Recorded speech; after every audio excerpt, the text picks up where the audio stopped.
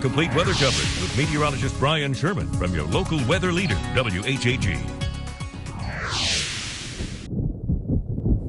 Well, good evening, everyone. We're talking about the tornado that dropped into eastern West Virginia last night. The National Weather Service in Baltimore, Washington has now confirmed that an EF1 tornado touched down in Martinsburg in Berkeley County, West Virginia last night with that tornado warning that was issued for southern Washington, Berkeley, and Jefferson County. So I was out on the scene this evening, and I've got some, you're seeing wood here on the Weather Center desk. This is actually bark from some of the trees down on Queen Street in Martinsburg that were actually actually, if you can see this, stripped off from one of the trees here. This is the bark on the outside. Then you're seeing real wood on the inside of this here. This just shows you, again, how this was like completely stripped off one of the trees. The power of the winds, the winds of this tornado, 85, 90 miles an hour, really just sheared this bark and this wood off of the tree. And there were numerous trees like this over a good portion of Berkeley County and Martinsburg. Here's some video from the scene I shot earlier this evening where we had down by the Boydville Mansion where they had a lot of trees down here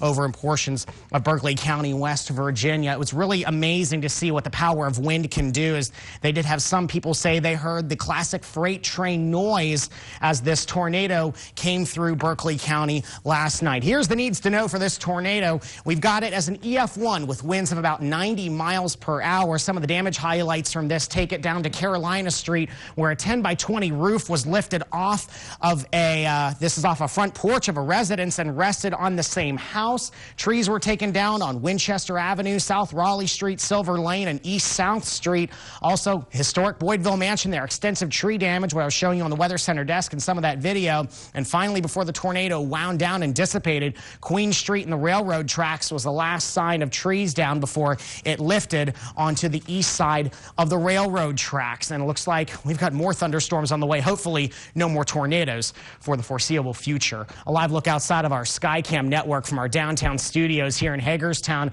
We've had some thunderstorms develop here within the past 30 to 45 minutes. Storm Tracker radar shows those right into the heart of the viewing area. Once again, we've been getting hit pretty hard here since just before 11 o'clock at our downtown studios. This little thunderstorm here, a couple lightning strikes, but a lot of heavy rainfall also working down southeast southeastern portions of southern Washington County to the west of Frederick, also into portions of northern Loudoun County as well. A little thunder just to the north and east of Chambersburg and others down south of our viewing area. We're going to see a few renegade showers and thunderstorms tonight before more thunderstorms are possible for the next four to five days. Don't put away those umbrellas anytime soon. A very muggy night tonight. 74 Hagerstown, 69 Chambersburg right now, 75 Leesburg as well as over in Frederick, 72 in Cumberland, 69 in Romney, 59 right now, a cooler 59 as you're checking in with us over in Garrett County. So the thunderstorms over the next two to three days.